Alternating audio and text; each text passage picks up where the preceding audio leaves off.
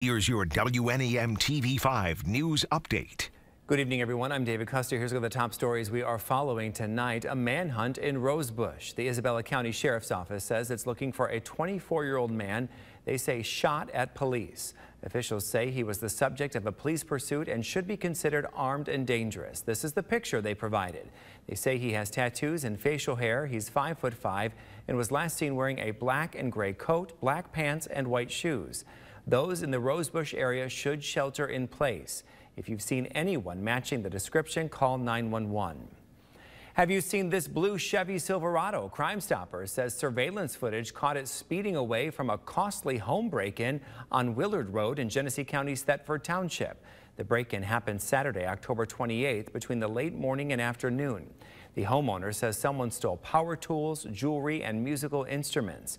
Together, the cost of the stolen items and damage to the house adds up to $45,000. Again, that truck is a blue Chevy Silverado and has chrome mirrors and trim. You can leave an anonymous tip online or call 1-800-422-JAIL. Toys for Tots celebrating the 39th annual kickoff of its season on Black Friday. The morning of November 24th, the Saginaw County chapter will once again collect toys and monetary donations at the Frankenmuth McDonald's on Main Street from 6 to 11. Donations will be loaded onto the back of a Meijer semi that will make its way to the Toys for Tots warehouse. If you'd like to donate that day but just can't find the time, don't worry. There are dozens of drop-off sites across Saginaw County. You'll find a full list on our website, WNEM.com, and the last day to donate is December 22nd. And now here's Chris with your forecast. David, a chilly night is ahead. Temperatures dropping quickly with our mostly sunny skies this afternoon turning into mostly clear skies. Should land around the upper 20s and low 30s by tomorrow morning. But we do warm up nicely. Should be around the low to mid 50s for highs tomorrow afternoon. Cold weather lovers, you will have your chance over the next couple of months. Those who still like the warmth, enjoy it while you can.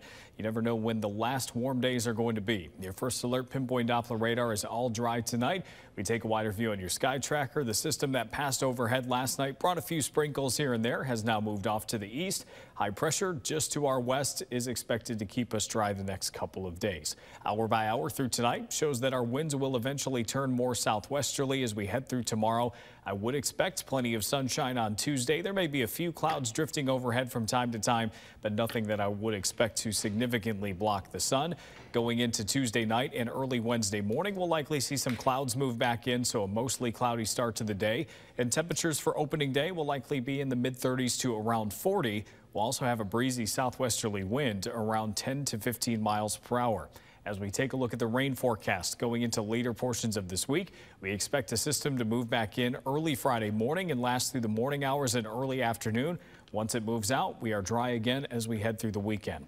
Temperatures for the weekend also cool down mid 40s Saturday and Sunday. We're back to the mid 40s by Monday.